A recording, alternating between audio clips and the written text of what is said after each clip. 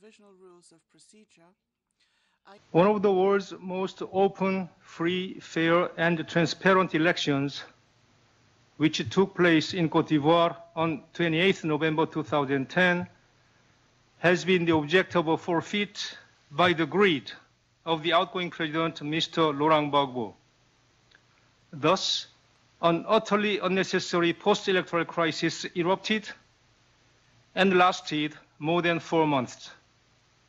Now, with the taking into custody of Mr. Gbagbo on 11th April by pro-Ouattara forces, we witness the end of a chapter in the history of Cote d'Ivoire.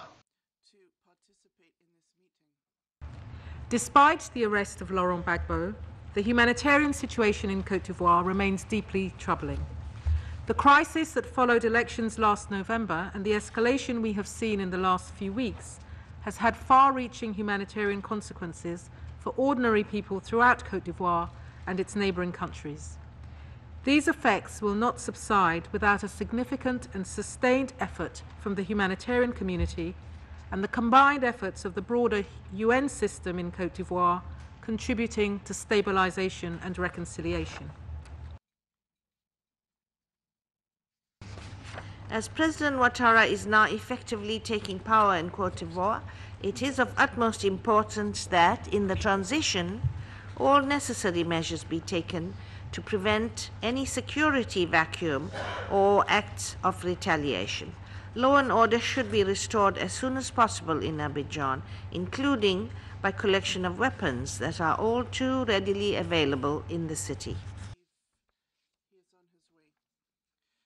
Des allégations graves de violations des droits de l'homme ont été signalées dans ces régions de l'ouest de la Côte d'Ivoire, mettant notamment en cause une implication des forces républicaines de Côte d'Ivoire.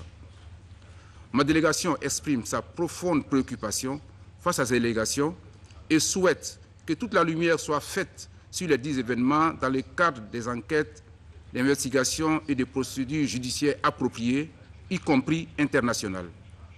Aucun crime ne saurait demeurer impuni.